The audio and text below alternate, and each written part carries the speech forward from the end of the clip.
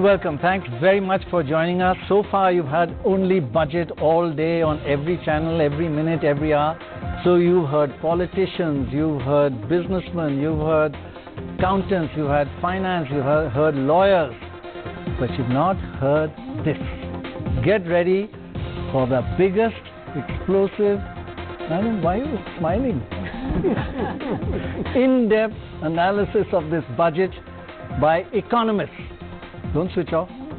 These are serious economists, the best in this country, and we really want to look at what really is in this budget. Go in depth and the budget and beyond. And Lionel, you want to look before the budget also. Go back how many years?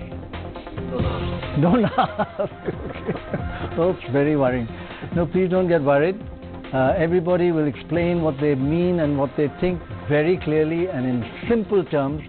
But this is perhaps the only one place, one show where you'll get a whole lot of top economists together understanding what this budget means for our economy.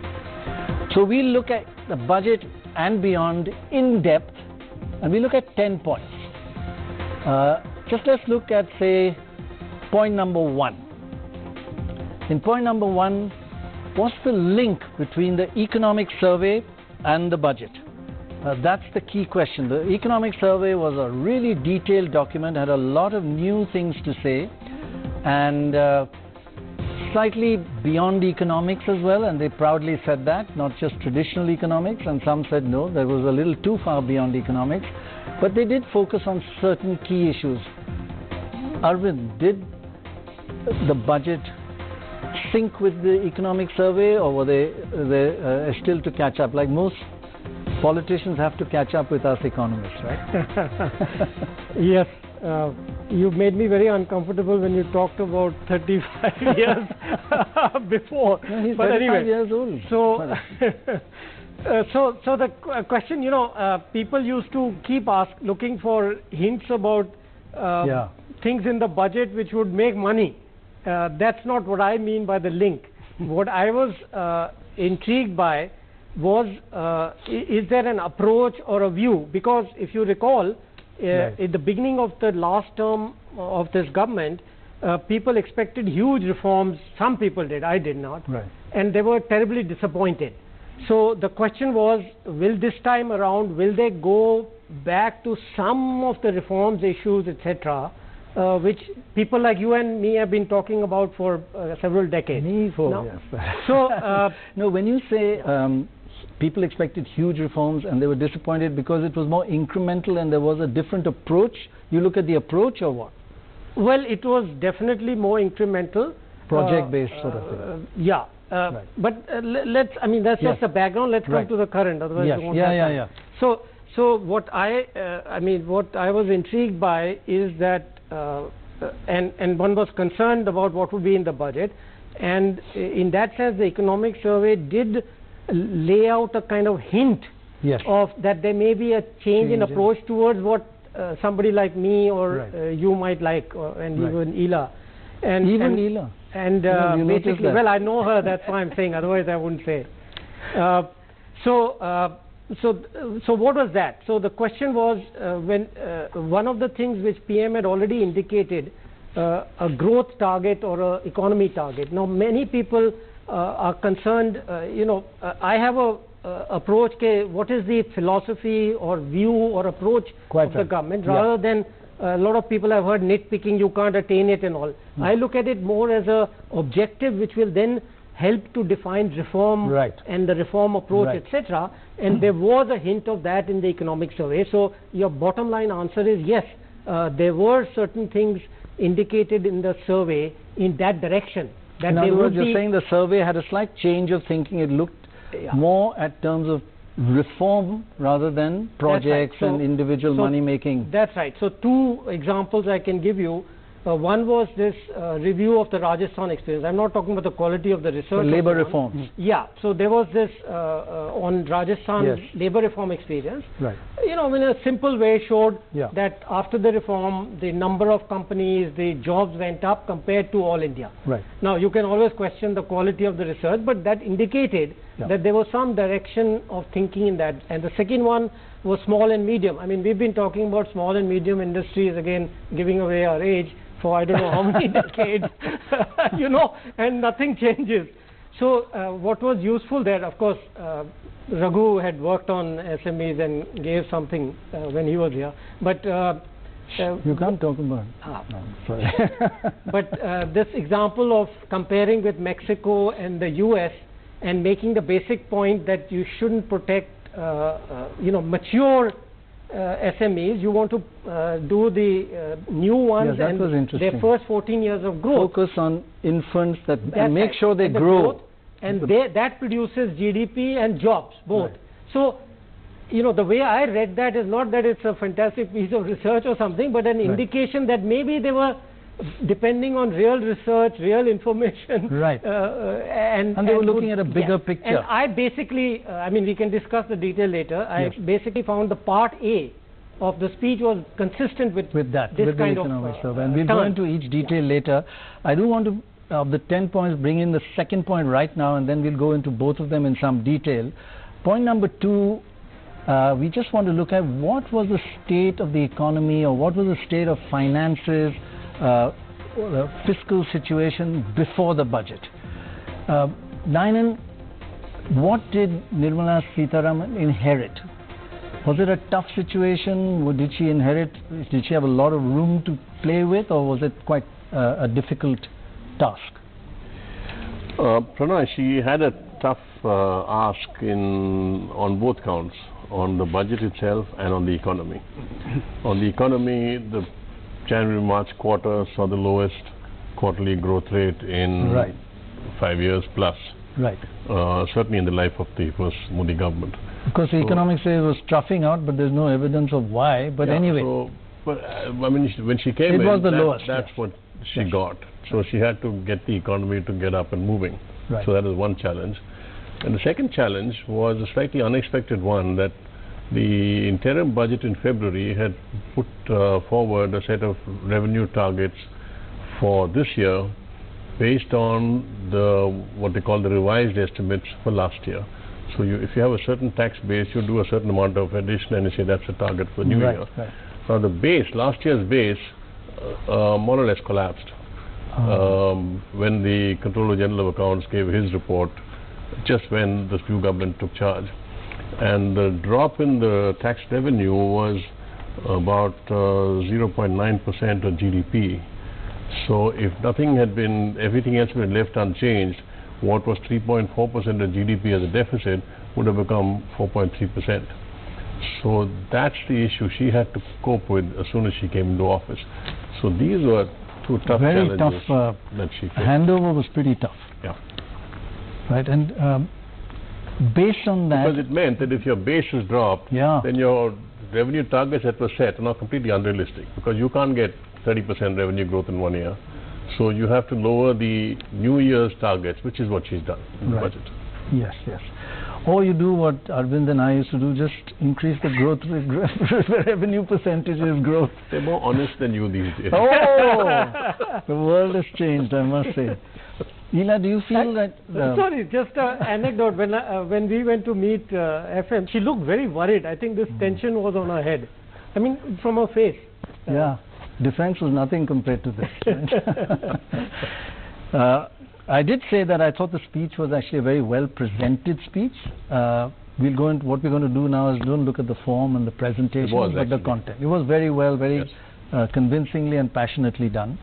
Uh, one of the best speeches, but whether the content matched the form, uh, we shall. That's what we're going to look into. I'm sorry, can I say something? Ninan, the revenue receipts as shown in the January budget, February budget. February budget this year are the same as the one. So, Piyush, the Piyush Goyal budget has exactly the same revenue receipts. Now, No, when was the uh, CAG report? One minute. Because there's one- She has not, she has not put into the budget the numbers issued by the CGA. She stayed with the interim budget's revised figures. The, what they call the provisional actuals are there in the economic survey. yeah.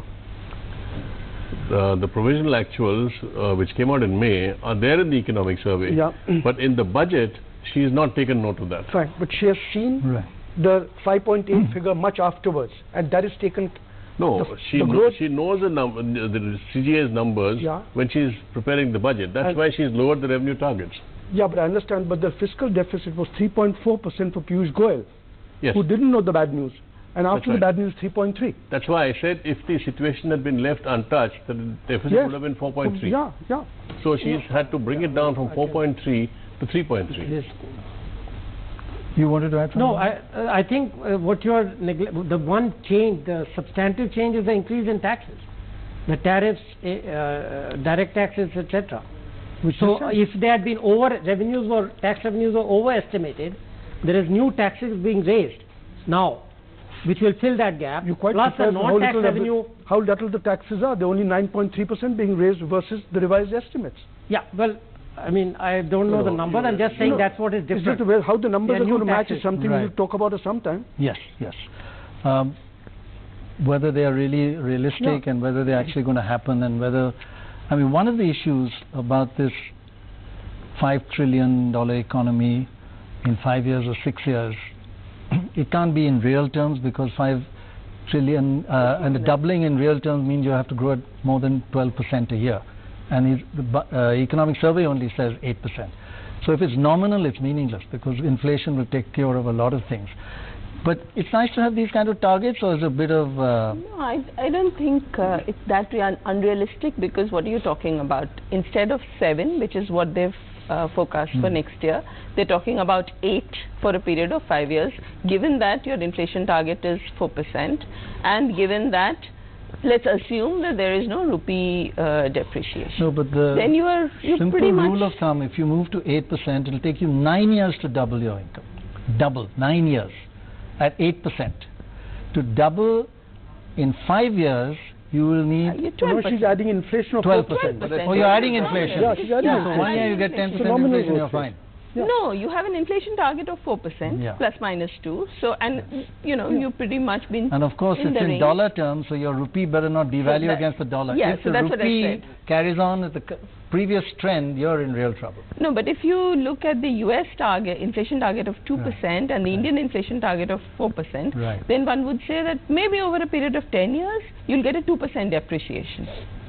Uh, But, you know, if you move with uh, opening up the capital account, which is a lot of what has been done to attract foreign flows, you may not get that depreciation. And if you don't get it, then this number, it's within a realistic range. I mean, we're not talking about global But shocks. don't you feel that they should have been clear? We don't mean your real incomes are going to double. Your real income is not going to go to 5 trillion. It's in income plus inflation. Do you feel they should have been a little clearer about that? This was political signaling. I think in, in and of itself, it's not a bad thing to do for a government that has just come into power. Right. And uh, it, it isn't, uh, as Ila just said, it isn't an impossible target.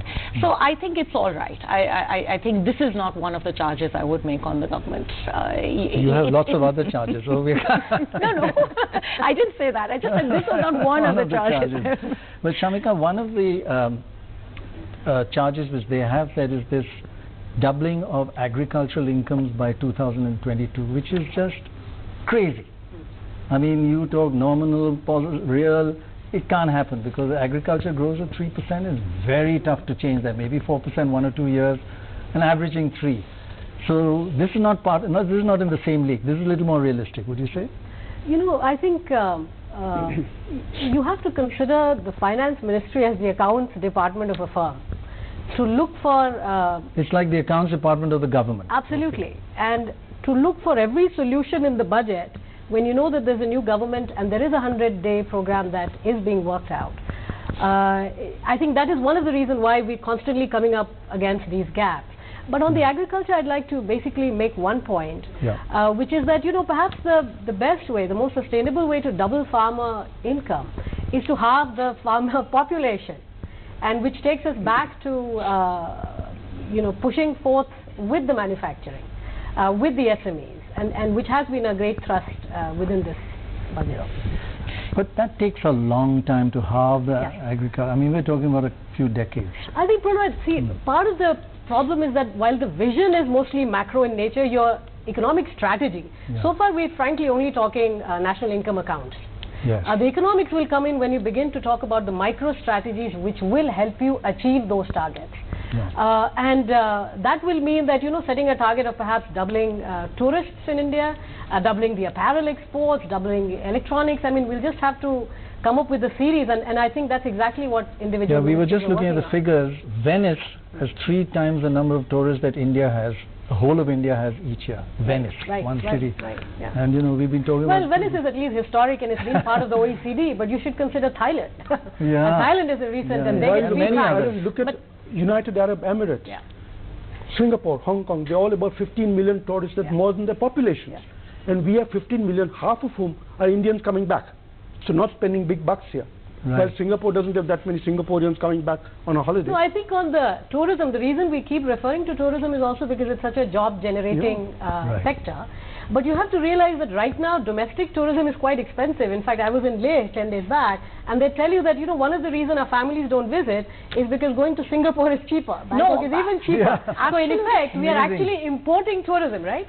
And, You know, that's um, the whole idea. In, in, in, in fact, I think that also speaks to a broader challenge that the economy faces, right? I had exactly the same, uh, it's summer holidays in June, right? So we've all probably gone through the same thing. It was more expensive to fly out of India than to fly anywhere in India, and it was more... It's cheaper to fly out of India yeah, than sorry. more Yeah, expensive within and India. it was much cheaper to find perfectly decent accommodation outside, you know, in Southeast Asia than it is in India. But that's a, even that's the critical point that we have consistently been thinking of growing an economy uh, that uh, is not in fact catering to the needs of the bulk of the population of India. I mean, just think about it. The the first thing that you do when you hit your 40s is thinking about your big savings.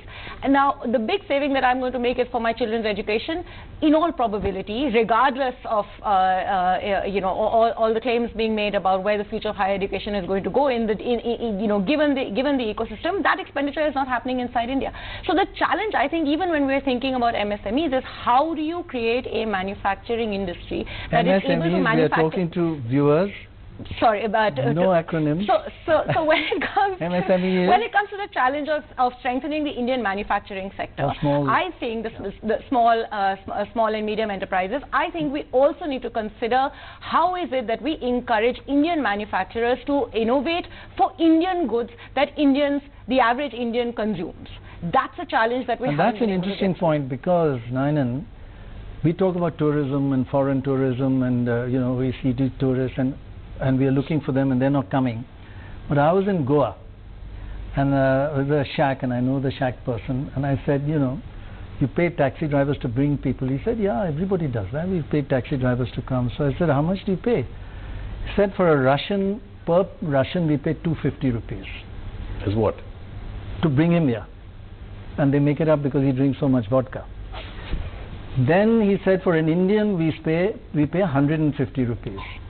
And then for a Britisher we pay 50 rupees only. because Britishers don't spend. So why are we looking at foreign tourists when our tourists are three times valuable just by uh, very important yardstick of a shack paying people, you know, they check what's your nationality. Okay, here's only 50 bucks if you're British to the taxi driver. Really? Because the Englishmen sit with one bottle of beer and sit all evening. The Russians have two bottles of vodka, and Indians in between. They mix the two. So why do we look only at foreigners? We've got a lot of purchasing power here, or not? Prannoy, it's the largest industry in the world, about petroleum, tourism. Right. It's the largest generator of jobs in the world. Yeah. You know, but what are we doing? I mean, Yeah. great to have domestic tourism, but you know, I mean, France has 80 million tourists, foreign tourists. No, no, but let's be real. Uh, what is the experience that you can offer, yeah, but we and in what numbers can you offer? shouldn't we invest in Yeah, that instead of six places? So- we're investing six places, Infrastructure, more uh, places. I mean, So I think you, that- you have to do the hard work to get the numbers. It's not that Yeah. you know you just can get it just like that. Yeah. yeah. So I think domestic uh, economy is of course something we've been falling back on for some time now. Yeah. But again, again, purely from a national income accounting perspective, savings have stagnated and we're trying to raise investments. So one missing factor that we have sort of given up on is exports. And, and talking about external uh, tourists is therefore it's, it's, it's a form of Yeah. exports that has to be So one, a lot of people have said, I mean, in, during the discussions today, that there's no real big idea in this in this budget. I think to some extent what Arvind is saying is correct. It it indicates an approach which is not just micro, and it seems to be a change in thinking, but that we have to wait a couple of more. But uh, one, if we look at the third point, I think it's a, a point I'd like to talk to you about, Ila. Is this a big idea? And if you could explain its ramifications. Is this a new idea, borrowing from overseas, which is uh, quite heavily focused on and discussed in this budget? See, the, uh, as Shamika just said, the savings rate has not just stagnated, it's actually fallen. Fallen, yeah. As a share of GDP, savings have gone down. Household savings have moved from around 22% to 17.5%. That's shocking. So, 5%. with the decline in savings rate, if you want to push up investment, So we should make it clear that investment and savings go hand in hand. So if your savings go down, your investment goes down. yeah, unless you can compensate for it by importing capital from abroad, Right. capital inflows, whether it's debt, whether it's equity. So, you know, you'll see in this budget there are policies that encourage foreign portfolio flows. Earlier we used to say, oh, that's hot money and we don't want it and stuff like that.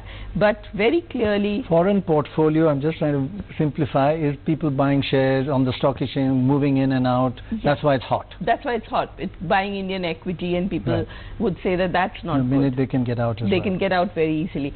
Debt was actually considered even more dangerous because people would say that, oh, you'll be really indebted. And then, you know, our history of 91, where India went with a begging bowl, made us very averse to foreign debt. Now, what you have in this budget speech today is that uh, the finance minister says that uh, we will issue uh, dollar denominated, foreign currency denominated sovereign debt Thank you. that's the big thing because what it will do is it will be it will act as a benchmark the risk free rate will act as a benchmark and allow more corporates to borrow from abroad Risk-free rate. so it's Because government the borrowing. sovereign debt, what people buy it at, pro- gives you the baseline of a risk-free lending to India. And then individual companies can point to that and say, okay, we can be a little bit above that, but that's a, a, a yardstick. Is that right? absolutely absolutely Okay, which we don't have now. which we don't have now, which we haven't done. So SBI used to borrow, but uh, you know the Millennium India, Resurgent India bonds, but it wasn't really government going out, say on the London money market and borrowing, which many other countries do. So how much money do you think will come in like this? I mean, any estimate? What you, what you, what you, we've been comfortable with is a current account deficit which gets financed by foreign capital flows of about two and a half percent. When it starts going to three, we become uncomfortable. But I guess in today's scenario, if you're thinking that exports are not really picking up, as you know, Shamika was pointing out, then you might have a larger current account deficit. You want your Yes. e- domestic Exports economy are really in bad shape. Yeah. and you are wanting your domestic economy to pick up, you want investment, Exports, yeah. so then you might be more comfortable with 3 4% of foreign capital flows. I'm not saying you will be. I'm sure uh, Dr. Virmani will not No, agree with Arvind, you. uh, I just want to ask you, sorry. Prannoy, the issue is also, uh, apart from uh, over and above what Ila's just said, that the government will save money by borrowing overseas because it's cheaper. Interest rates will be lower. Most of the uh, international market is operating today at less than 1%. And here we are close to 7% Right. government borrowing, 10-year Right. money. Uh, so even if India gets to borrow at 2.5%, 3%, even if you take uh, currency risk cover at about 3%, you're still borrowing at more than 1% less than you would in the domestic market. Right. Plus, since domestic savings have fallen, government borrowing is seen as keeping interest rates high, so private business can't borrow, it's too expensive. Right. So if the government borrows outside, then it doesn't push up interest rates, domestic interest rates fall, private investment can move in. So what it sort of economists call no crowding out. Yeah. When they borrow internally, you crowd out fin- uh, So you, you bring private. the interest rates down, which is what you want to do, and the government saves money on the interest cost of its borrowing. So this is a big positive in this budget, is it? Yes. It's a It major is done within safe limits. Now that's the point. I wanted to ask you, is it a slippery path? You allow a government to So I want borrowing. to make a couple of points, starting with the savings investment. You know, uh, unfortunately, I've done two papers on saving investment and growth recently, so I can't help myself from boring you. if you look at the uh, Don't worry, we're all doing the same thing. so if you look at the investment and saving balances, which I have done very carefully, it's basically household investment in what we call structures, which has gone down over the last 10 years. Okay, it is not corporate savings, it is not public savings; they've all increased. So basically, they, what they used to do was they invest directly in housing and and industrial structures and commercial. That has gone down, and there's a whole this black money issue and all connected with it. Right. If you look at the financial savings, the gross savings has gone up, but they are more borrowing more. That has gone up even faster, and therefore the net has gone down. It's very important to understand this At because you get point, wrong uh, solutions. I can't even ask you a question because I'm not exactly, but I saw Ninan sort of What also is- drifting off. I just want to come back to this big yeah, idea. okay, next to the yeah, next one. Yeah, that, that's just the basic Yeah, fact. understood, understood. The reason why I'm saying saying it is because it's very important because you get wrong policy recommendation if you Yeah, don't if you don't look at the data facts. properly. That's all. Correct, That's correct, all I'm correct. trying to illustrate. Yeah, true. Not make some very No, no, point. that's fine. Now, as far as borrowing from abroad is concerned, in the days before FRBM, I have uh, written on file 10 times not to permit this. Why? Not to permit this. Yes. My fear was that make it easy, is cheaper, is a temptation to spend more and more. Okay? Ah. Now that we have FRBM, I would tone down my thing and maybe go along with Ila because this benchmark point uh, she and uh, uh, she has been making for some time, even before you joined. So government, you're I the. I'm So the you- you're the one who and so what, what is the result? What is the result? Uh, the result will not be a larger inflow of capital, it will be cheaper capital, which is good. So we will overall, if you look at the Are I'm sure it won't be a larger inflow? That no, is the if the slippery FRBM part. doesn't work and they uh, No, no, push they've up their already uh, budgeted fiscal their deficit, then you're in trouble. Sorry? The total borrowings for the year already budgeted. Right. So it's a question of how much of that you borrow abroad and how much you borrow And domestically. do they ever you stick talk to no their borrowings, budgets? you talk no borrowings on They the balance actually. sheet, not off the balance sheet. Yeah, but the government can borrow cheap, so you will save the risk premium. That is the point I'm making. That will be the main effect, which is good. Definitely, it's a good thing. But I don't think that will mean, unless your fiscal deficit goes up, it will not mean that uh, there'll be a huge capital. So I'm not worried about the capital flow, uh, flow the and government borrowing too going much. to five percent or something. But Arvind, uh, I'm just sorry, to, one second. Yeah. Will a fiscal deficit mean anything unless you bring in the off-balance sheet items? This fiscal balance is a a- joke. No, absolutely. Why are we indulging in these jokes? Absolutely. You know, anyway, I want to just get back to this point Yeah. about uh, the big idea in this, Yes. which is not commonly looked at. It's not like health care for everybody, insurance for everybody. That is it is graspable. This is a big uh, idea, which is a is a major new thing in this budget. So as Ninan said, okay, you get you can do it at two or three percent, but you better make sure that your currency exchange rate remains stable because otherwise you're going to be paying seven, maybe ten percent back. No, you see, the very reason that you're asking foreign capital, inviting foreign Right. capital, making it easier for it to come in, is so that as long as it keeps coming in, your currency doesn't depreciate. So that's the, I mean, the logic is to get it so that the consequence of that is that the currency doesn't depreciate. So you feel that this currency will be more stable from now on? I think this, I think so, unless there are, there are big external shocks. But they generally say, do the opposite of what all economists say, right?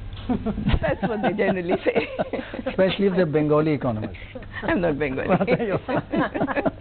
You're in a, that's fine, we'll listen to what you're saying. So you're saying it's an undilutedly good thing that the government is borrowing from abroad at lower interest rates. Why didn't they do this earlier, Ninan?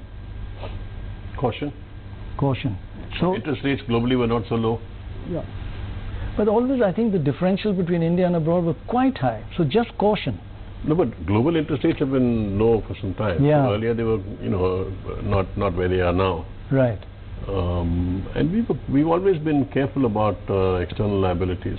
Good thing to be careful. But Dr. So are you saying this is- against Many emerging today. markets have gone Dr. belly up Angaraj. because One second, one second, one second. Many So- emerging markets have gone belly up because they borrowed too much. Brazil, Mexico, Russia, Turkey, Thailand. Borrowed too Korea. much. Yeah, they They've borrow gone too much belly up. overseas That- and then you get into trouble. So caution earlier, are we throwing caution to the winds? So the- At the present level of sovereign borrowing, I don't see much. We are risk. okay because we are very low, So you right? have to do That's it the point she made in her speech You have to do it within safe limits and not suddenly think this is free money or easy money. And we have enough checks and balances? Well, that's a secondary point. The first point is the macro balances. Remember what was happening in 2013? Our current account went to 4%, fiscal deficit had risen. So yes, you are right to caution. That's precisely the other side of the coin of what I'm saying. It is okay and good and beneficial as long as your macro Within- balances are in control. If for some other reason they go out of whack, then you can be in trouble, which is what. Uh, No, so if I may, one of the things to keep macro balances in check is the fiscal deficit number. Right. So, I mean, we can all argue about how much is uh, off budget or not, but Right. what you if what you're trying to do, exactly as Ninan said, is stick to a fiscal deficit number, then you don't get into the fragile five and you don't get into the 2013 situation. Yeah, you don't get into... Into But you know, uh, we didn't do it uh, earlier because we were cautious, so have we thrown caution to the wind? But No, no. let's uh, give it a try because what... just one more thing. Never change a winning game, always change a losing one. and we are not doing too well, the so fiscal change it. deficit is a lot, it's under control. I mean, if you consider Yes. the last, the decline over Yeah. the last five years, you're in Yeah. a much it's, better it's position. been on track and there's another thing that's happening which is that many emerging economies including India are now able to borrow in their local currency. So we are able to go and float these masala bonds and people lend to us. So uh, the more the world becomes familiar So they take the risk on exchange they take rate. the currency risk there. So the more the world becomes comfortable, familiar with India, with the government borrowing, with then they look at what is the risk-free rate for dollars, the better it is for us. And in a situation like in for masala bonds, we don't even have the currency risk. Right. So it's a Gaurav, you were saying something which... Uh, No, I think Dr. Rangarajan also believes we should not borrow. Probably he's from the older generation. He believes that we might. But I think I More agree with risk Leela. averse. It makes a lot of sense. so bo- most of us believe that it's worth taking this risk, right? Within, within limits. yeah. See, I think it's diversification I is the mean, big Yeah. long-term gain. amplify. But as as Ila has also said, you got to make sure your uh, you know macro balances remain in control, and that's where the FRBM comes in. No? That that So a there is lot, there. a lot of borrowing will happen externally, but it's crucial to keep it within limits, and we just have to keep a watch on that. And uh, And is it crucial to see what we spend it on? That we borrow for capital rather than day-to-day expenses? No, that's a separate That's issue. a It's separate balance. debate, It's a actually. separate issue. Yeah. No, so that's you know, probably true about all borrowing. Yeah, Yeah. that's yeah. So that's a separate debate. Okay, let's for go on- macro balance, that's not really the issue. Let's go on to another point, actually, up, uh, point number four out of the 10 points, uh, and that's to do with uh, a signal from the economic survey, which only talked about investment, invest, forget everything else, don't look at sectors, don't look at anything, just get investment going and get your savings also going at the same time. So after this budget, Ninan, will investment get a boost? Will people, will this trigger that? To the extent that your financial sector, with all its troubles of bad assets and inadequate capital, to the extent that the financial sector has been a constraint on the real economy, this budget does something to address that issue. Financial. Uh, on the banks, it says they will put another 75 70,000 crores in as capital. On the NBFCs, it's giving a one-time uh, deal where you can pool some of these assets of the NBFCs and uh, get Yes. some, you know, so uh, there are other there are other uh, financial sector instruments. They're trying to deepen the bond market. Ila is the expert on this. Um, so they're doing, they've done a fair amount in the budget to try and deal with the financial sector's issues, which today are a drag on the real economy. So actually, since you've linked it, just let's go to point number five, and we linked these two. This point number four was about investment. Number five was NBFCs, non-banking financial co- co- companies, corporations, and financial sector repair. How much was done, and will that alone, and there has something be, uh, something be done, has been enough, and will it be so linked and so uh, helpful that it will boost investment? Isn't that what you're saying? It's connected. Basically that, and they're So talking about uh, looking at a new window for long-term financing of infrastructure. Uh, you know, they're looking at deepening the stock market with more public holdings. They're trying to bring, make it easier for foreigners to bring in money. Portfolio money has really stopped coming into India this this year. Um, Really? Yeah, on balance, it's very little. If uh, direct investment continues to come in, but portfolio money is very marginal. Right.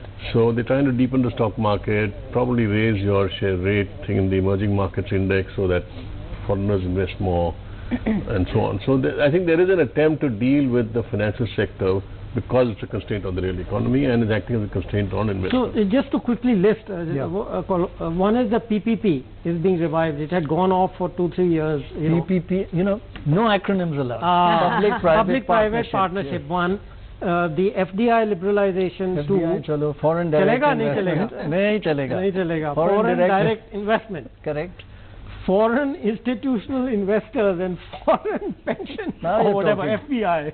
Now you're talking. See? And four, of course, the financial. So the, the bond and all, maybe she can tell us about the some reforms in the financial Yeah, sector that's which should also well. help. So, for example, I know it's going to sound very arcane, but if you will permit me, that You're uh, talking to arcane people. that uh, you know the for for the bond market to develop and for infrastructure financing, what we've tried to do earlier was to get banks, you know, the banks that just go lend to infrastructure.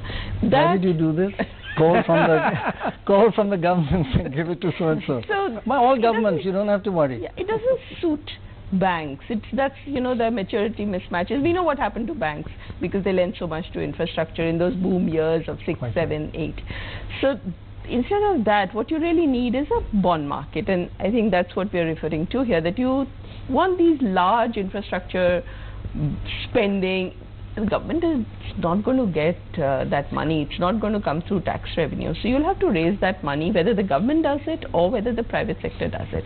What India lacks is a bond market. And one of the things we've been doing so far is saying we have a separate corporate bond market and a separate government bond market. And very often you'll hear the words corporate, we need a development of the corporate bond market. Every other country, every other bond market is a bond market.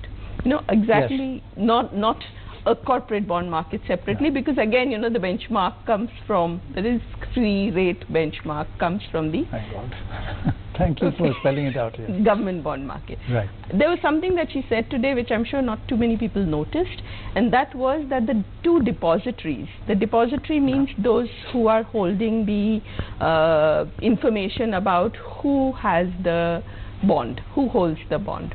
So whether you may hold the bond, I may hold the bond. The, the two depositories of the government bond market and of the Corporate. corporate bond market. So the statutory general ledger and the uh, NSDL, they would be they would start talking to each other. I mean, this sounds like nothing big, but this is a big step in the right direction because that helps us move towards one bond market. Right.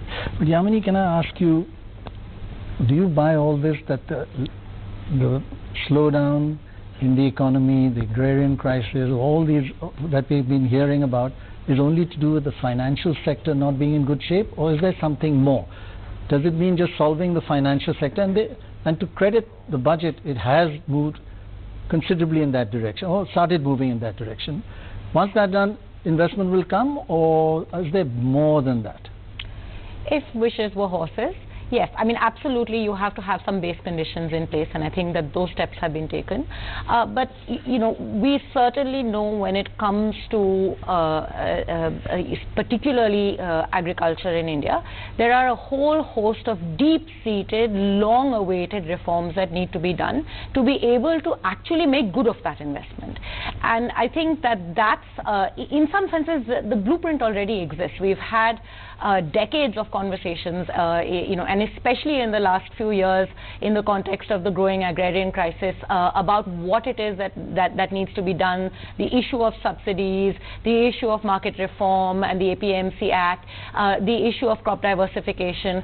All of these uh, th- these reforms are somewhat on the table. We know what we need to do, uh, but this requires a a a willingness to say beyond I want to double farmers income. I'm actually willing to do the hard stuff which may be difficult to sell but I'm willing to do it and then getting on with it. I think this was, perhaps it still is, a unique opportunity to do that. You have a government with such a resounding mandate.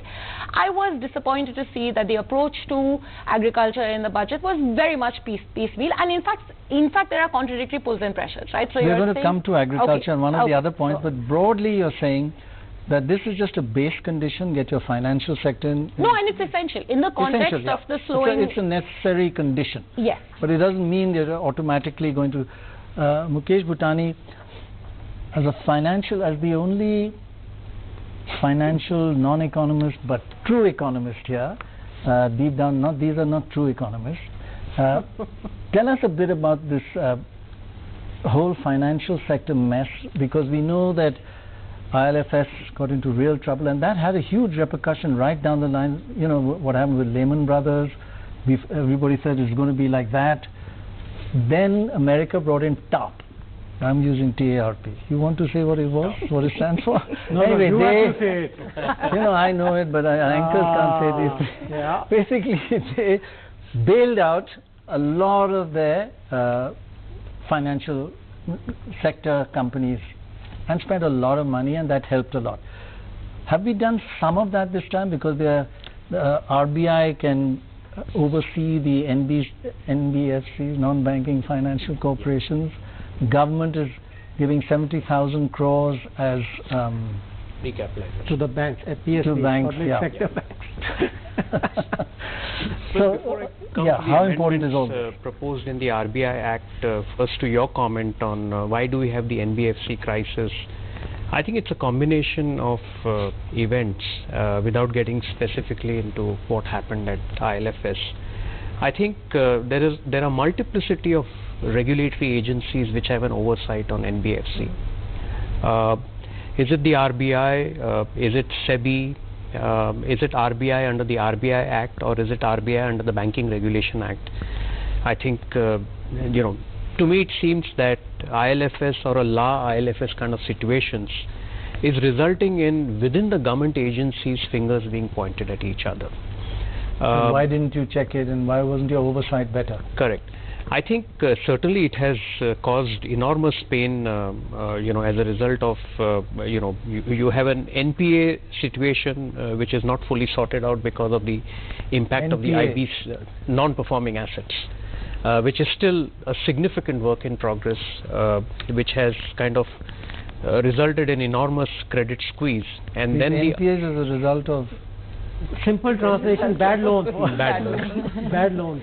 and then yeah then you had uh, the shadow banking uh, which was at least from a consumer financing standpoint uh, you know oiling uh, the you know machine very well that has got choked as a result of ILFS crisis so now you have a you know a sense of uh, conservativeness uh, at the lenders end you have a sense of conservativeness at the regulators end particularly at the government's end i just saw a couple of amendments that has been proposed to the RBI Act as a part of the budget proposals. And on one side, I fully understand the reason why it is done or why it is proposed, but I also see a overhang of regulatory controls. So just to give you a couple of examples. One second, before you go on to that, um, I remember remember Satyam and the terrible collapse of Satyam. But everybody felt this is one-off. Infosys and Wipro and TCS and nothing like that. Correct. So there was no fear that this was a general phenomenon. Yeah. With non-banking financial companies, is ILF seen as an isolated or is there a fear that they're all a bit worried? Well, if you look at uh, the fact that there is duality of control from a regulatory standpoint, it may not be an isolated case because whenever regulations in India, which is a not a rule but a principle driven uh, interpretation of law, you always e- always have those smart accountants and lawyers pushing the envelope and taking the interpretation that they have taken. Uh, over a period of time, do you think it's uh, only ILFS or it is a whole worry in the entire sector? Bit different to Satyam. No, it is not like Satyam. Not like No. It's bigger than that. Absolutely. And while there are governance issues involved, like the Satyam analogy you're using, but this is this is far more systematic. So the, the solving of the Satyam problem was one of the most wonderful things India has done in a Correct. long time. Correct. But it's a little easier than this because Hmm? you're saying it was isolated to Satyam. Is that right? Oh, yeah. Yeah. Satyam was an isolated I mean, you already know, uh, it's out in the papers every day, some other NBFCs that are defaulting, Defaulting. headed for trouble, Yes, yes. question marks. Yes. See, So the, there is a larger systemic problem. the, the difference is, you big know, difference. Yeah. when you have producers of goods and services, they are connected by things which are very apparent. I buy from you, Yeah. I sell to him. Hmm. In a financial system, all this is under the table in a way. Yeah, and you have a package And, of and you all don't kind know where are the linkages. So we have defined this something called systemically important financial institution. So it gets, the finance is more complicated. That's uh, especially for economists. I think it's also because you don't know who is good and who is bad. There's so much non-transparency. Correct. So you don't know which are the Correct. sound. Uh, Correct. well, But in yeah, in Satyam's case, simple terms, it's because it's all in below. than banks. Yeah, less because when you're buying and Quality of selling, you know assets they hold, they are exactly what you're buying and than who. banks. so is But- there but I going to see be the more impact of- transparency because they are moving to trying to make it a more transparent economy? No, I'm glad you gave an example of Satyam. What happened post Satyam from a regulation standpoint? If there was one law that saw a material repair, which was the Companies Act of 2013. Now, most people commented uh, that the Companies Act 2013, most provisions were directed in a manner that every second company is a Satyam. So you had suddenly a 56 Act getting translated into 2013 Act, which didn't look like a modern law. The NBFC crisis today or the ILFS situation, I think, is going to impact a wider set of stakeholders. So you're certainly going to see reforms on the assurance side. I hope they are reforms and not regulations. You're going to have other set of regulators, you know, breathing down the throat of rating agencies. You're going to see risk management committee of NBFCs and banks playing a much more different role than the audit committees of non-banking financial institutions. Okay, you will also see the role of various regulatory agencies, whether it's the uh, National Financial Reporting Authority or the Serious Frauds Office, playing different role in the context of an NBFC crisis. Okay. I have an analogy for you. Chrysler versus the TARP you were talking about. Right. See, Chry- Chrysler was a bankruptcy. No, no, what does It- TARP stand for? TARP is your thing. I don't know. You tell me. TARP That is the US response to the financial. en- I mean, Lehman for crisis. the common person, that, that's Toxic the big difference. Yeah. Huge difference. Okay. so let's move on to uh, point number six, which is completely different from all of this. Uh, remember, the, the, were there any big welfare schemes for the poor? Uh, some people call these uh, freebies, some people call them welfare schemes, some really genuinely help the poor. Uh, in the last, I mean, this government is most successful politically uh, scheme has been LPG gas for uh, basically women benefited the most from that because women do all the cooking, work, everything in India. Men sit and play cards in villages. women do all the work Smoke, Hookah. and smoke. Yeah, but you didn't give a And drink, not otherwise we could have also participated. and they don't only smoke tobacco here. So the welfare schemes in this budget were they enough? Was there anything new and said wow? Like I felt last budget, the Ayushman is it called the one? Uh, That was the one previous, 2017. Yeah, the, uh, 2017. yeah. sorry, 2017, where it was a, actually a very, very mediocre budget, but they had one big idea that we will give health insurance to 500 million Indians, and they put in only 2,000 crores, and now they put only 6,000. So again, implementation of that has been a disappointment. But anything new in this, uh, in the welfare scheme front? See, um, uh, no. Uh, the short answer, there was no grand announcement, no new scheme. Of course, the Jal, uh, the pipe water supply, uh, uh, Jal mission uh, was reiterated in the budget uh, as was expected because that was one of the first things that they said. And to be entirely honest, I don't think that's necessarily a bad thing. Uh, there is What, to uh, reiterate? no, uh, not to have a new announcement. Oh, okay. Uh, the over the last uh, few years, uh, for a government that was initially considered to be far less welfareist than its predecessor, uh, this government has certainly moved in the direction of a lot more welfare. Large number of schemes have been announced and implemented, uh, and you, you know there, seems to be at least political capital that has been generated from it. But all of this requires money, and uh, where is the money coming from has been a critical issue, and especially with Ayushman Bharat is a good example of a scheme where you know we've been waiting to see what's going to happen with the budget for a while, and, and there is no money to add to it.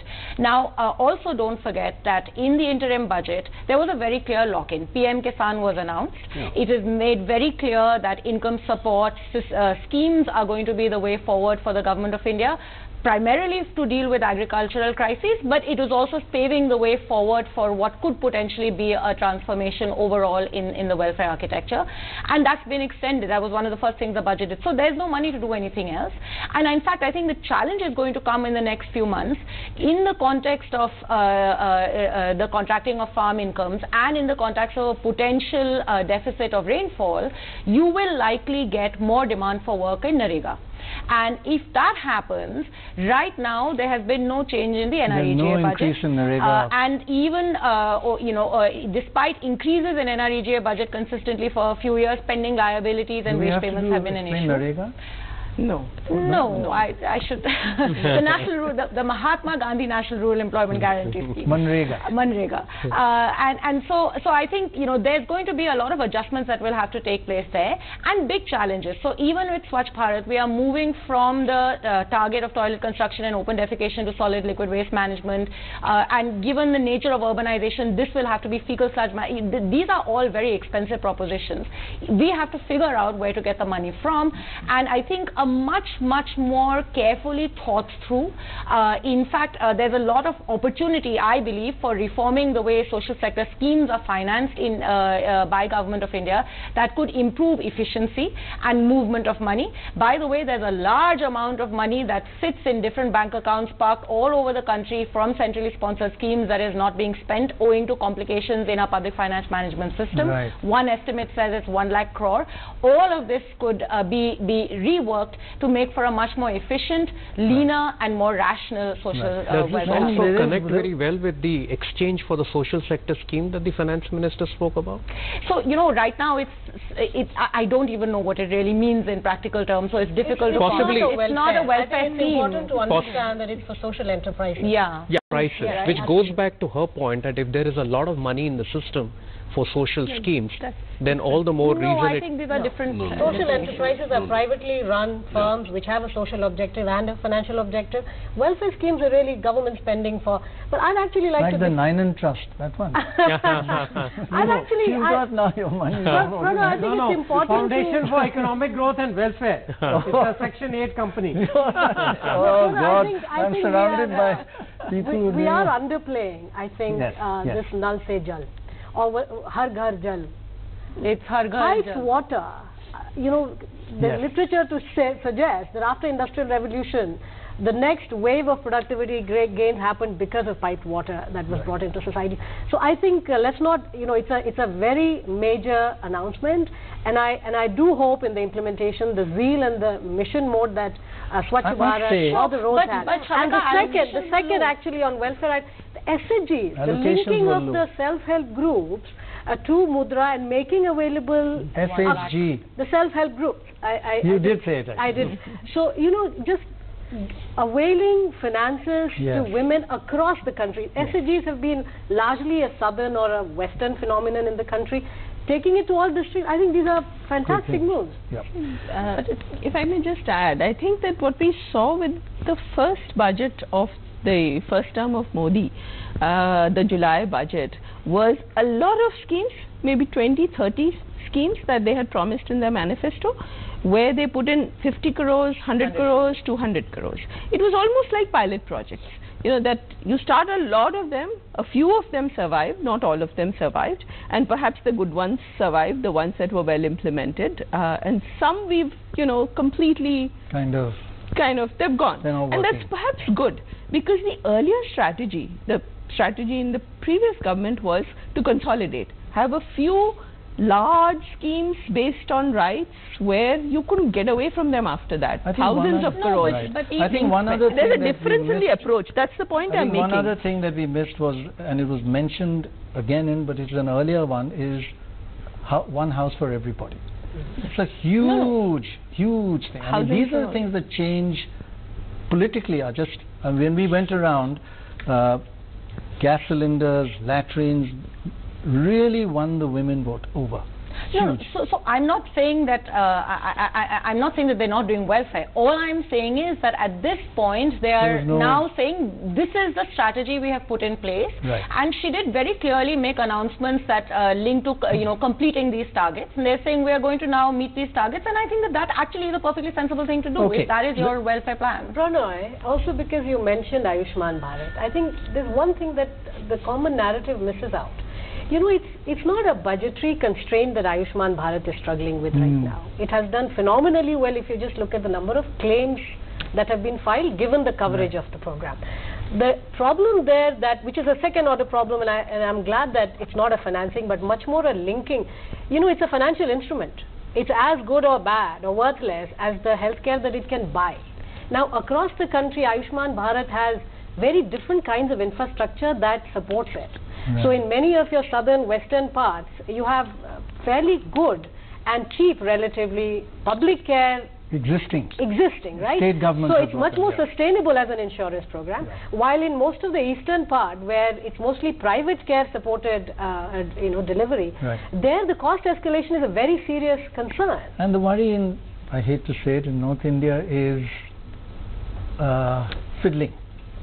That you're going to get, you don't even have a operation and you and the doctor say you've had this surgery or you've had some uh, treatment and you get insurance for it but you never had in the first place. It's a very, we've had a whole uh, debate with the person in Niti Aayog that's in charge of this who's doing a good job but facing dishonesty problems with insurance.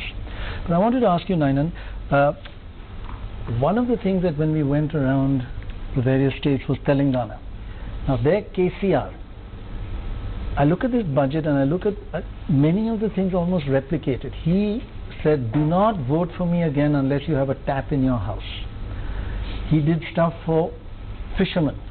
He did things, he really segregated and actually promised and did individual sectors of his society. For shepherds, he gave 21 goats. For barbers, he renewed their saloons. They all voted. He's won a landslide in the assembly election. now you may laugh, but these matter. Of course. Yeah, but we talk about fiscal deficit and sorry. No, but fiscal, that's, I think what they managed to do is keep the fiscal deficit under control Yeah, I- I while doing comment. these lots No, of, but that's uh, you know, off-budget but, story uh, is but one thing he did That's where the say, one thing that. KCR did say is, what is this fiscal dec- deficit? Look at what China's debt is. Look at what America's China's debt is. China was the deficit is lowest a in the world, by the of way. Debt, debt. Yes, lowest in the world till uh, 10 years ago. Anyway, And now it's like so he's wrong. Uh, no, no, anyway. no, no, no, no. Debt to Well, we can GDP in discuss China. China, but let me just No, no. tell you. He said, and I, I mean, so does Ruchir, that debt to GDP ratio in China is very out of control. Well, India No, it's not. In the includes last private 10 years, debt. Now, nothing now. to do with welfare. No, no, now. It's pure pumping of uh, thing into the financial No, no, system. no, whatever it is, whatever it is. Anyway, Yeah. So You call me with will- Richard, I'll... Uh, Yeah, okay, okay. Anyway. so tell me, I just wanted to ask Ninan, is this the future now that we are going to have targeting and it's got both? And is it a bad thing? It may be for political reasons, but it does change people's lives. Shepherds get 21 goats suddenly. You know, Prannoy, while you said it half jokingly, No. um, it is a truth that uh, what is development? Uh, is it the stuff that's discussed at 30,000 feet? Or is it this kind of stuff at ground level? Meaning, is development what people want and can benefit from and see and feel? So, if you were to say, forget KCR in Telangana, but Mr. Modi himself across the country, uh, what worked? Uh, he could go and tell them that we have the, the what Arvind Subramanian calls a public provision of private goods is the thing that they're focusing on, and whether it's water now, or health insurance, or homes, or rural roads, or cooking gas, these are things that make a difference to people's lives, Lives, right. and that is development. It is development, these are and when, when we at a. Can I no, and, they and, cannot be Ninan, viewed only and when we at welfare. these 30,000 feet call them freebies, it's, a, it's, it's unfair because it does change lives. Yes. No, no, you can't get away from the need to be able to finance them. Yes. I, I mean, you can't be irresponsible and say, I will borrow. But it's a very derogatory term for, as you say, genuine development. Can I can I just make one s- quick small point? I think one important thing uh, to re- uh, to remember is you know w- the the pieces of welfare that have been put together over the last five uh, five years and the continuity that is being uh, expressed about around it. I mean these are productivity enhancing, but these are broadly safety nets. There is also the big question of the springboards, what my colleague Partho calls the springboards. What is happening to that? So Ayushman Bharat was the beginning of a focus on, head, on health. The big missing link uh, consistently over these five years and again today is on education. And yes, Yeah, there we're was coming some, to that. yeah, We're so- coming so, to so I think- education. but, but, but that is about the framework No, of I welfare think one of the needs to be issues wa- that, uh, Naina, just one Sorry, second. I have a different Just take one on one this. second. You're not allowing me to No, speak. no, we don't take different takes here. This is only one point of view, it's a different take. I'm the boss. Turn his volume off. no, we'll come What back about to the joy of argumentation? Oh God, that's another channel. uh, let's move on to something completely No, different. very quickly. Oh yeah, please, please. Sorry, go ahead. Yeah, no, I was just kidding. There is, uh, you know, we have this concept very uh, esoteric, right? Subsidiarity. When you're giving me a state example, that is the job of the state to deal with things on the ground, in the panchayat, on the district. Right. The whole point of an effective, you know, and I'm not speaking theoretically, Hmm. I'm talking about my 10 years of experience in planning commission. The complaint I You heard plan- every year You call planning commission Yes, experience? it was abolished because there were 300 CSS schemes Yes. and every single state complained about them. So, what is the new concept? Right. The new concept is central government should stick to central government stuff. Gas is under central government. Uh, insurance, financial yeah, sector. I think I think yeah, So- a good so point. there but are even two more different than levels. that, even more than that, Except the schemes have gone up to 500. yeah, and not They've gone down to 95. I have a count of it. They have been reduced from, but 95 Clever is too much. Never so given that it argue should be about nothing, matters it should be of zero. fact. Never argue about matters of fact. No, 95. I'm talking about Niti. We are joined by DSS. Rajiv Kumar. Uh, thank Uh, you very much. Uh, Rajiv Kumar, I wish you were here because these people are just arguing with each other. We needed a third umpire. Yes, I, I'm clearly I'm clearly missing out on a lot of fun. I Yeah. wish I, wa- I wish I was there. Yeah, well, next time we will, uh, we will. I know how busy you were today. Uh, we just we were going through ten points, and uh, we're just coming yeah, on. But I shall be there. great, wonderful, wonderful. Uh, just coming on to point number seven. Uh, uh, let's just have a look at uh, what our point number seven is. It's something. It's about the cashless economy and the transparency agenda in this budget. Uh, Mukesh Bhutani, the two things that we want to check. One is cashless economy. How fast do we go? Because people keep saying that in Germany it's 50%, etc. Cash, uh, but it seems that in India it is a good trust. But transparency, can it be a bit big brotherish? And are there any signs of that? Well, transparency is a very uh, broad term. Uh, you know, how do you bring about transparency? So you can say that demonetization was a move towards transparency. Uh, IBC is a move towards transparency. But specifically, I see uh, several In uh, this budget? in this budget, as a part of the finance bill, uh, several changes. They may appear to be what we lawyers call it as repairs to the law, but they are actually not. Uh, let me give you two examples. So, uh, it was widely speculated that we could see a re-emergence of banking tax, uh, transaction tax. It's actually not a tax. It's a withholding tax.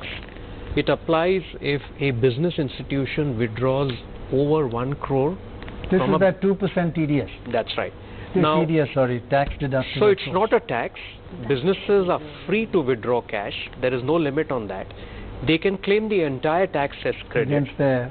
But why tax. is the government doing it? The government is doing it simply because now it will discourage businesses from withdrawing cash, going more digital on transactions. Also, if you look at Which the is a good thing, right? which is a good thing. If you look at the nature of GST disputes, this whole debate about fake invoices, fake credits, these are all cash transactions between business entities. So now you have a mechanism which is not punitive in nature, like the bank transaction tax, but equally Right. the government will be able to now track these track, I just- track uh, cash. I just want to go back to Rajiv Kumar, taking that point and uh, just going back a bit in our discussion just to get your point of view and as the third umpire. Uh, and I'll bring in uh, point number eight, which is connected with earlier. Earlier we had said the economic survey talked about investment, investment, investment. Was there a, did this budget fulfill that one single aim? And particularly uh, with farmers and the agrarian crisis, did this budget link with the economic survey and will we see a change in the agrarian problem and investment?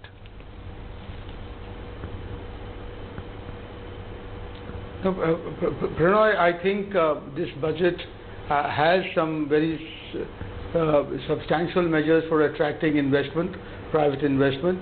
Uh, you know, I think you would never, you would have never heard before that the railways will attract private investment in, Yes. you know, track uh, restructuring and manufacturing of, you know, of, uh, of uh, rolling stocks, even in running of passenger and freight and passenger trains. Right. You know, and the fact that also for the first time the government is laying out a, uh, rolling out, is promising to roll out a package for attracting mega scale uh, manufacturing capacities in sunrise industries like storage batteries or photovoltaics or you know or, or, or electronics, mobile manufacturing, etc.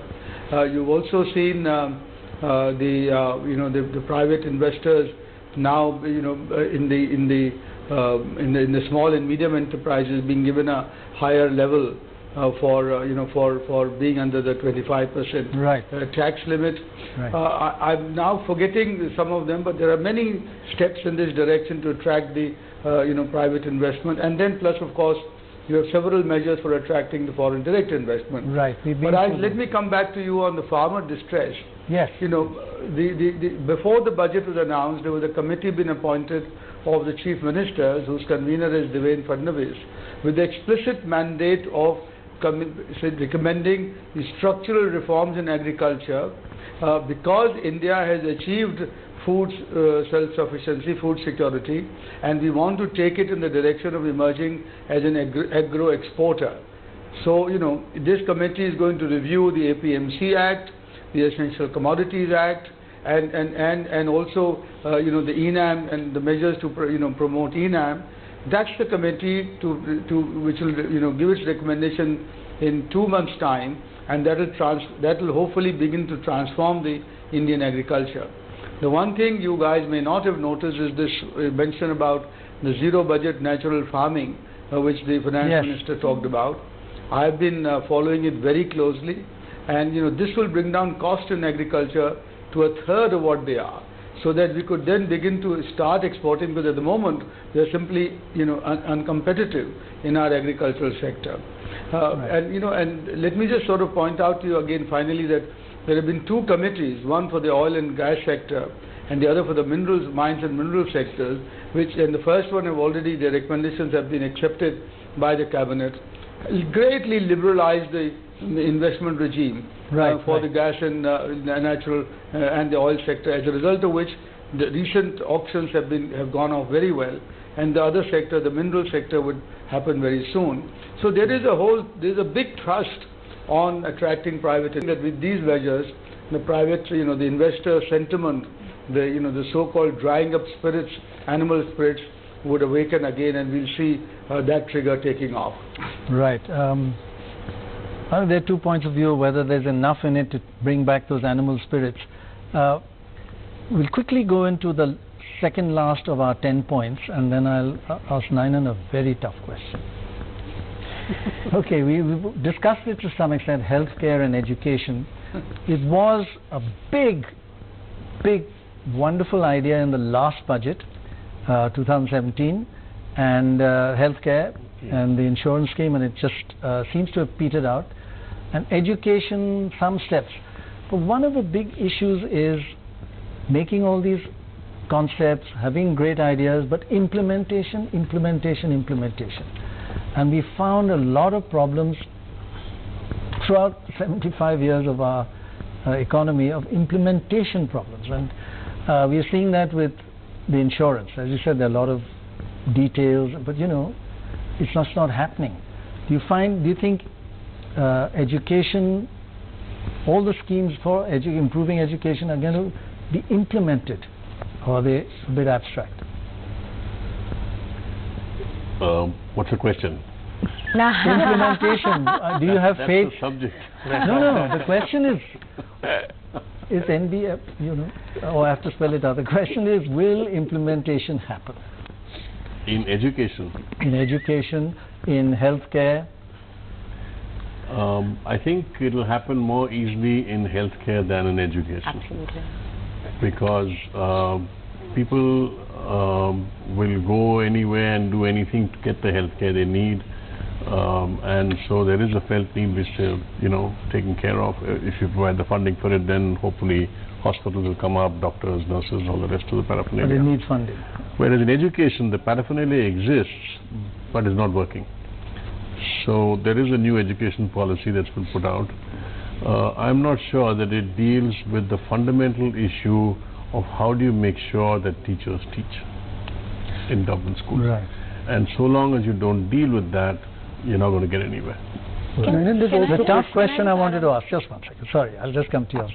The tough question I want to ask is, uh, ideologically, people say that this government is not very different. It doesn't believe really in privatization. It believes we can fix the public sector. Are there any indications, I mean, in the disinvestment target, which is, what is it now?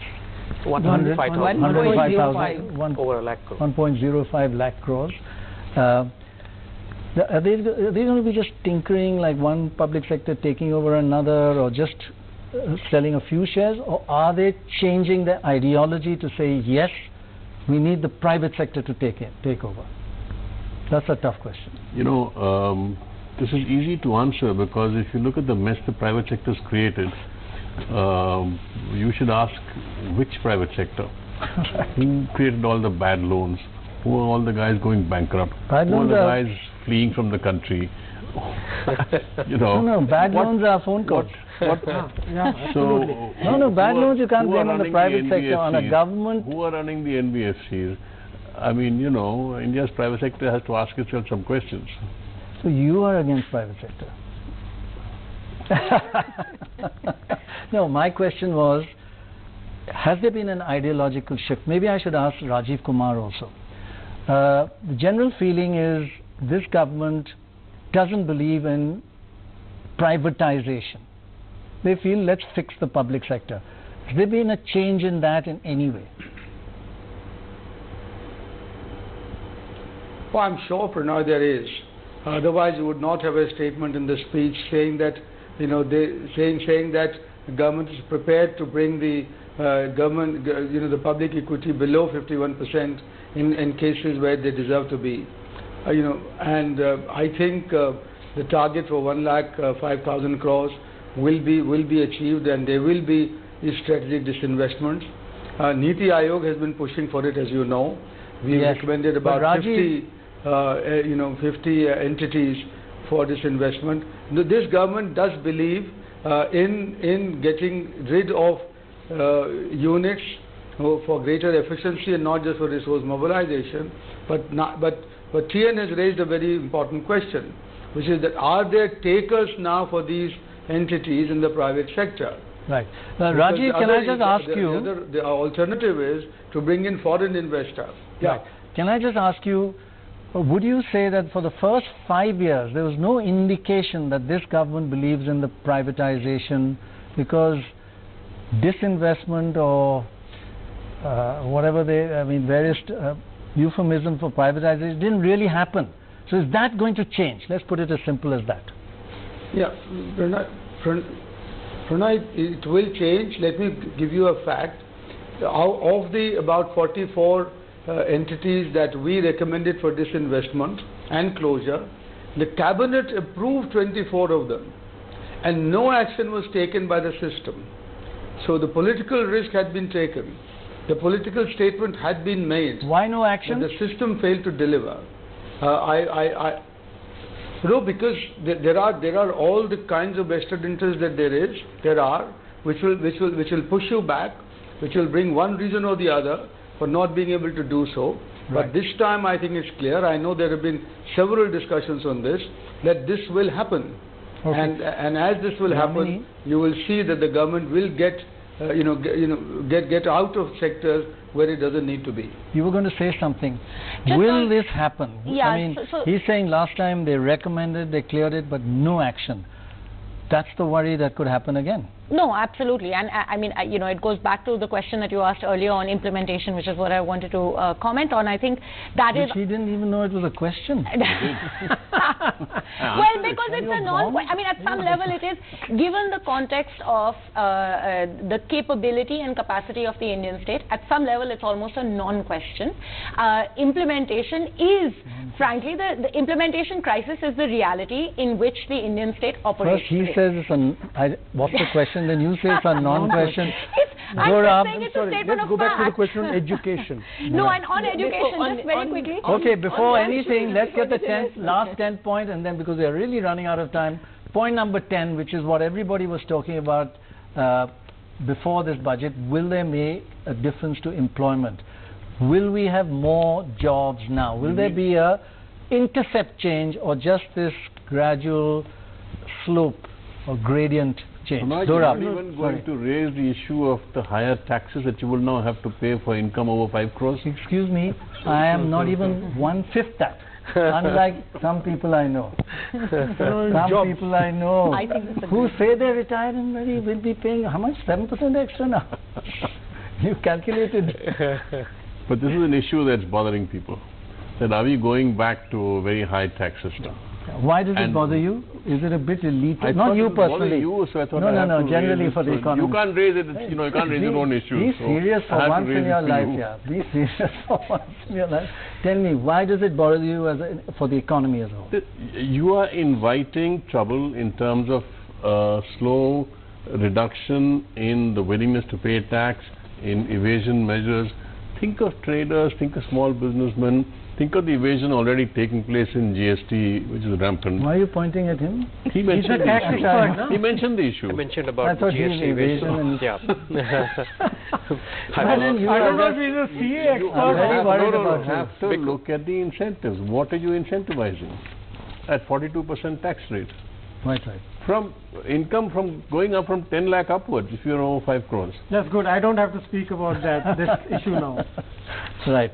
Uh, I think this is, okay, just do a quick round.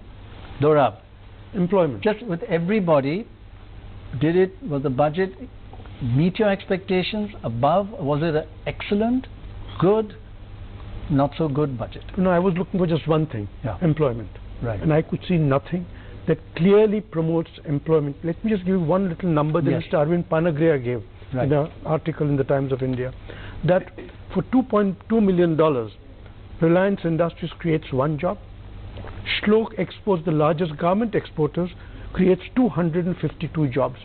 Can't we do something, you know, instead of giving depreciation allowances to capital, when what, what we are actually is I a think the- labor the, strong the economic society. survey does talk about size and Yes, the but big the where is change. it? That's Yeah. what I'm asking. That Where didn't is happen, it? yeah. And it Yamini? needs, No, no, it's not that they- difficult to happen. Yeah, Perhaps Yamini? they already give a subvention for per PPF person and water. employed. No, but you need to give much more. Labor laws, you change them in Rajasthan. Why can't you pursue your governments to change them elsewhere? Okay, let's move on. That's a very important point. I, I must say, looking at the trajectory of uh, this government, uh, incrementalism was only to be expected. Uh, but I was optimistic that given the mandate, uh, some attempt would be made at least to pay uh, heed to the structural constraints uh, faced in the economy and at least some Like attempt to one- articulate one structural that. constraint. Well, they are. I mean, look at, ju- just look at agriculture. You have MSP and uh, PM Minimum Kisan support price. uh, so yeah, the minimum support price, which has its own problems, and Okay, you have these a sort of PM factors. Kisan. So, so you know, this is the opportunity to say, I'm just going to take the subsidy story and tackle it head on. Right. I mean, the real problem today is finance. So it was a step in the right direction, but then it needs to be followed up much more by many reforms during the year. But a step in the right uh, direction. so, in a way, this budget met your expectations or a little above. On, I was surprised to actually see. So Did the you have very low steps in the- expectations? well, with, given the three four weeks that the finance minister has had, it's it's a tough, It's a uh, thing to do. Met So, your uh, expectations or not? So part A, yes, more than expectation. Part B is already told why. I can give you the technical stuff, but I won't. Uh, but the part A, I'll tell you the jobs and this thing. Uh, one, that, that four codes. Uh, so I expect that to happen within a year now. Which one? The four labor labor codes. Yeah, yeah, yeah. 17 Four or courts. whatever. Yeah, yeah, yeah, yeah. Uh, secondly, the corporate tax re- reduction from the survey, we know that they were talking about holistic and integrated. It's not large versus small, it's all together. And third, the, the emphasis on startups uh, and things. You know, you again, Yeah. uh, you can look at it incrementally and say, oh, will this produce 1,000 jobs tomorrow? That's not the issue. The whole entrepreneurship, self-employment, you're changing the old paradigm of, Right. uh, you know, using jadus and, and doing self-employment expectations? to a new uh, startup. uh, Met expectations, the budget? Yes, definitely. The, the Nine. part A more than met. Part B, Now for Grumpy Nine, and no budget has ever met his expectations. Better than I feared. Your expectation was so low. But she could have done more. Okay. Yeah. That's, you know, that's like, yeah. I thought it was an excellent budget, uh, given the time, given the, the, the slowdown. Uh, but I think the jobs issue uh, that, that you mentioned is, is very critical. And that was disappointing. No, it wasn't. Because what they're telling you is that the action really lies in the states. Do you know that the unemployment rate That's in... also called pass the buck. No, it's not. It's not at all because you have to realize a I'm lot of that shouted at. growth and the the employment therefore wealth creation and subsequently job creation will happen through the ease of doing business. I think it's a point you made earlier that it is a very important issue, but don't expect too much from any budget. It's like a finance department in a company. Absolutely. Well, I'm not competent to speak on part A given the No, but people I'm generally surrounded met your with. expectations? But I think part B certainly yes. One path-breaking uh, initiative, which is the biggest, is dealing with 3 lakh 50,000 crores of arrears on service tax and excise duty. The Right. scheme that has been announced is a fairly elaborate scheme. I anticipate that you'll have one third of the dispute settled in this, and that's, That's possibly excellent. the reason Okay, good why point. the government has projected. And last higher word arrears. with the third umpire, Rajiv Kumar. Met your expectations, but now you say yes, Pakka. Uh, that means you have to say no because your expectations were so high. Prannoy, Prannoy, I, I, no, Prannoy, I, I just wanted to point out to something that you guys might not have noticed, Right. that this budget has the, for the first time, an output outcome framework to evaluate all government schemes above 500 crores. And the next budget allocation to these schemes will be done on this evaluation, which is now in process uh, and being done by the Development Monitoring Evaluation Office of the NITI Aayog. Okay, we didn't This know that. Let's hope the data is correct And we will extend it to all the ministries. Right. Okay, that's yes, a the data point. is correct. It's being, we are going to be using third-party validators for Oh, that. excellent. excellent. And I think this will this will be uh, this will be a this will be a big change. Big, uh, yeah. that will change a It's lot like of fiscal uh, accountability in the government. Right. Well, thank you all very much. It's like an audit. It's like an audit, and the first time you will have a real outcome budget. Okay. For the first time, a real outcome budget. Thank you all very much. Um, not even you went to sleep. Ninan? Viewers, wake up. Something excellent is about to start. Stay with us.